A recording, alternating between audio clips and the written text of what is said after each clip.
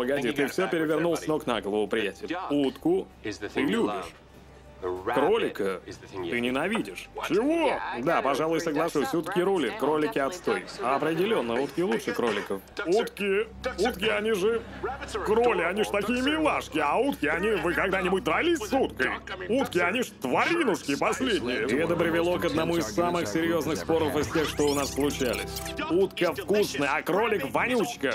Мы не говорим о вкусе, Тэд. Вкус тоже считается. А кто-нибудь носит утиную лапку на удачу? Ну, хоть кто-нибудь! Ты заворачиваешься в одеяло, набитое кроличьей шерстью, а я в набитое утиными перьями. И вот кому уютнее? Не-не-не-не-не, я спрашиваю, кому уютнее? Минутку, сейчас принесу еще одну книгу. Говорит на фарси. А почему бы нам не взять кролика и утку, запихать их в картонную коробку и пускай сами разберутся? Потому что это незаконно, Тед! Только если делать на это ставки, маршал. Хорошо! Я сдаюсь! Ваша взяла! Скажи это. Тебе придется это сказать.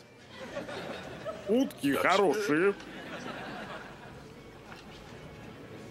А кролики плохие.